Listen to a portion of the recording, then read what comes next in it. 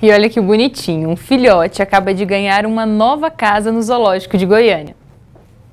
Esse aí é o café, um filhote de monflon asiático.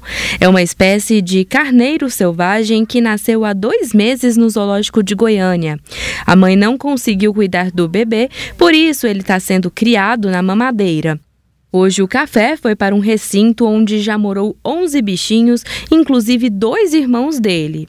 Apesar de não ser um animal da nossa fauna, a reprodução é importante, porque mostra que os animais estão bem adaptados e com uma boa saúde.